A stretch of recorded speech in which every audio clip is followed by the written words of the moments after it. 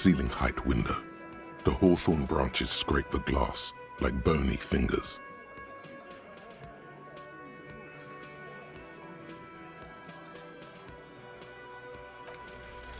There's a yellow ribbon tied to one of the branches, light yellow, faded with time. A tiny splash of color in the blackness of the thicket, hanging from it, a bronze key. Someone hid the key in the bush and attached a yellow ribbon to make it easier to find. It's close enough to the latch up there. One can slide it open and just take it. Surely not a coincidence. Huh?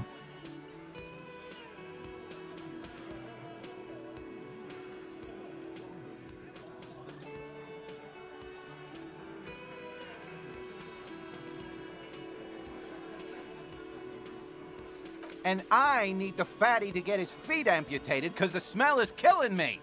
We can't always get what we want. God damn it, Dennis. You know I can't help it. Sorry, fucko. These guys won't help you.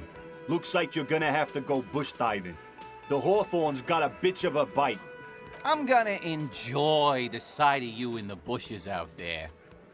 With a loud thud, the old man stands up, pushes the window open, grabs the key from the hawthorn branch, and slides it across the table to you. The key is brass. Workshop spare is etched to its bow. The old man closes the window and sits back down in silence. Come on, man. We were just having some fun. Where's the harm in... I'm tired of listening to your shit.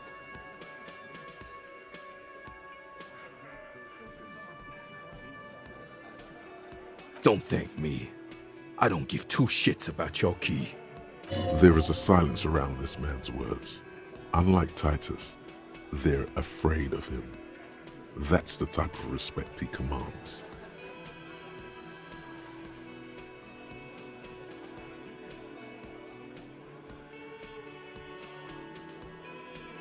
Didn't even know it was there. Boys. No idea. Never even seen it. Someone must have hidden it there before this room became our place. It could open the door in the kitchen. The blue door. It says workshop spare. Maybe there's a workshop there? It's worth a try.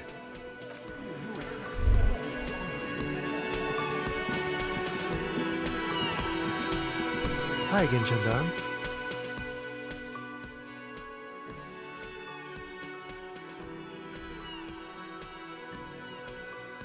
Oh, a committee. How interesting. And if I may ask, Gendarme, what is this committee about? He's all bemused skepticism. He doesn't actually care what you want with his friend.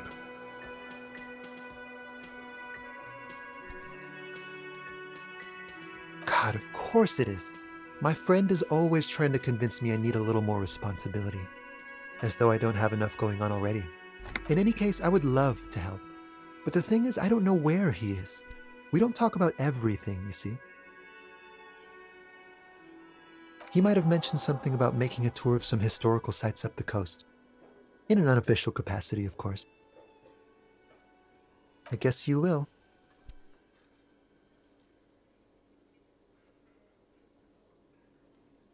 Bye bye, gendarme.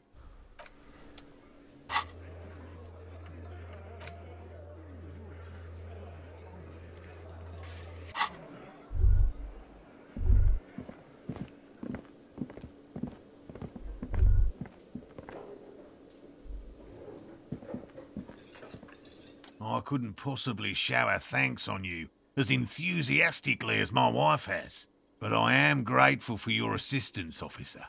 He tries to play it cool, remain professorial, but inside, this man is itching for some news on those traps. Good. Okay. And? Completely empty?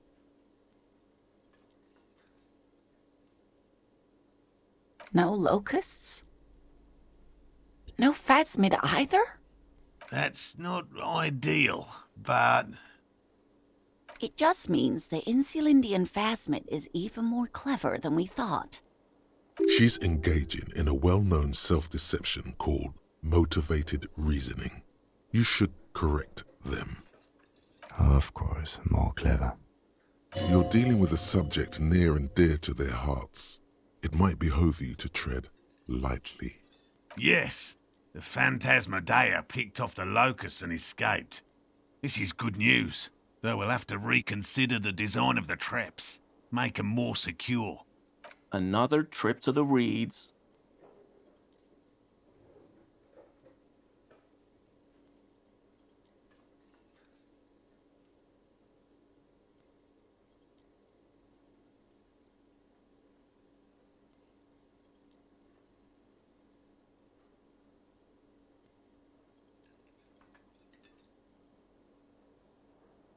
Of course we have. Wait, Morell. He may have a point. We have an obligation to rule out other hypotheses. You're right, dear. It's a fair point. But what other explanation could there be? Pardon me. This is a big deal for us. You've helped us twice now, and brought some great news too. My gratitude, and the gratitude of the Société Cryptozoologique de Ravachol is yours. Heartfelt gratitude. But does it feel like closure? What really happened? Some kind of foul play might be afoot. Theft? Thank you, it's an honor. We should probably return to our main investigation here. This has been refreshing, but Helping cryptozoologists isn't really a priority for our organization, is it? The lieutenant looks out the window, impatiently.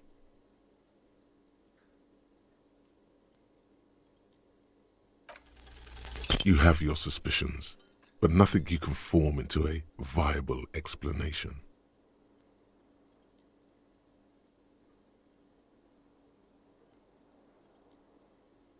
Really, officer? We can take it from here. Yes, sweetie, we've already taken too much of your time. Hell no. I had no idea. And I'm still cross with him, to be honest. It's not like him. He's got his quirks, but dishonesty, disloyalty are not one of them. Thanks. He's still glad his friend stood up for him.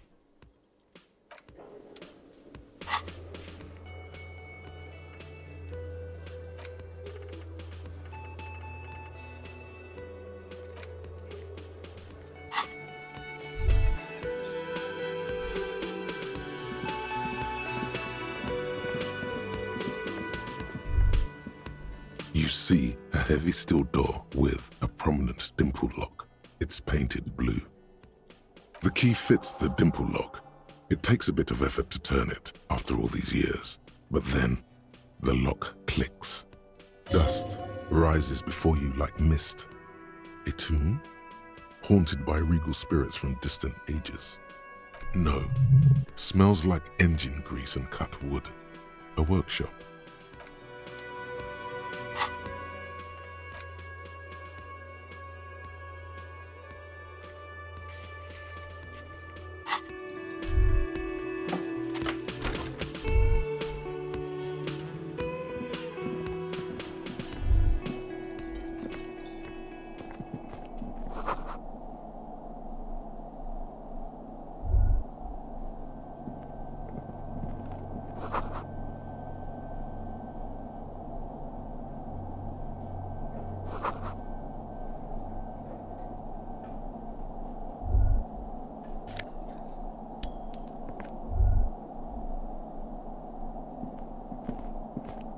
This small elevator is dimly lit by a bulb that's been glowing for ages. The latticed cage is open, inviting you to step inside. Smells of nougat and sweat. Your head brushes up against the ceiling. There is a control panel to your right, and just enough room for two people to fit in. The maintenance card under the control panel reads, Last maintenance, 10th July, 88. There are large rectangular buttons. Monte, descend, and an international call for emergency assistance. That third one appears to be broken. The small steel plaque reads Halter 800. Halter is a Koningsteiner lift company who went out of business a long, long time ago. That it does. I say, let's brave it.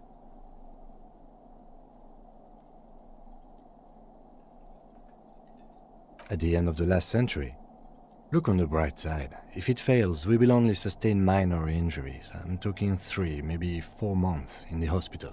Maximum five. It appears his whole enthusiasm is sarcastic. Seems like a small freight elevator for transporting machinery. For that, it's pretty quaint.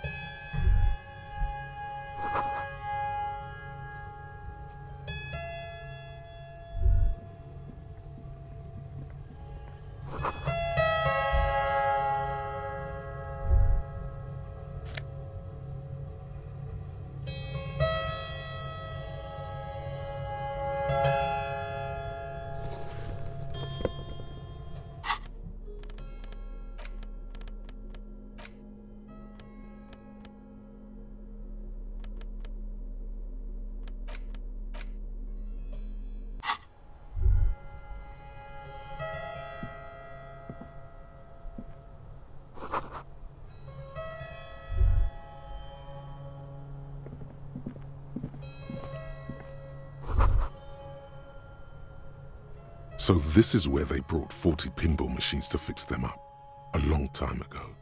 Everything is covered with dust now.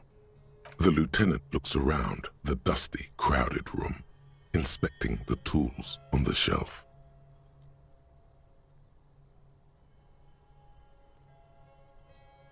Looks like it. I'm guessing Martinaise North 22 used to be a pinball arcade before it became a hostel? There are machines left over. A creak. Some dust falls off a shelf. Downstairs in the hall, next to the main door. One of them even works. I've seen one of the Hardies bang away at it. At some point, 20 years ago, 15 maybe, before pinball went out of vogue.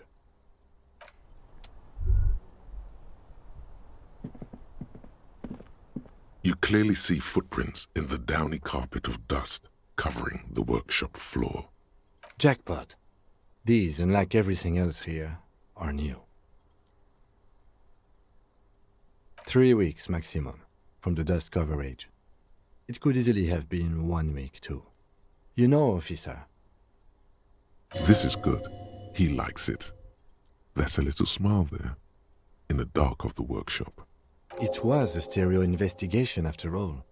It has now converged with our main investigation, adding a new fact to consider. It means someone snuck through what seems like a secret route leading to the roof. The roof from where you can shoot our victim. This is significant. This prints, officer, could be the prints of our killer. And if not, at least there are good argument for this Ruby doing it, to present to Titus. Large prints, most likely made by Boots. The size is hard to determine. Sole could be bigger than Vamp. The soles have left the pattern, uniform, horizontal lines.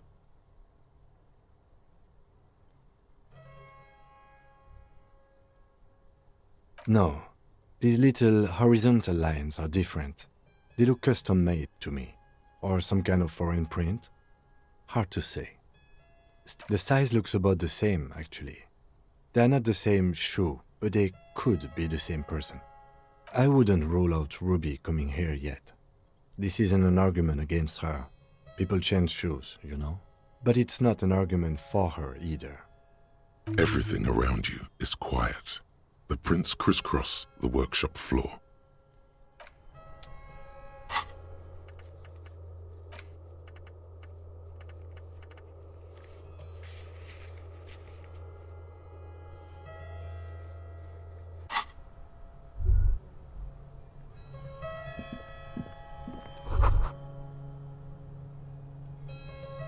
Can almost see the shape of a man and a woman writhing inside, bathed in drug sweat and dirty linens.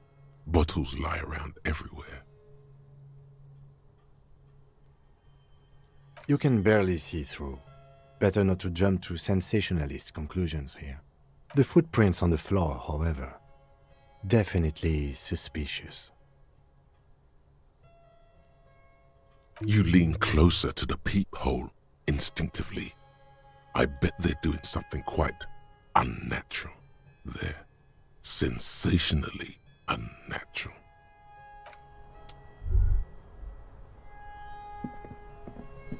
This is the inside of the barred door you've seen before.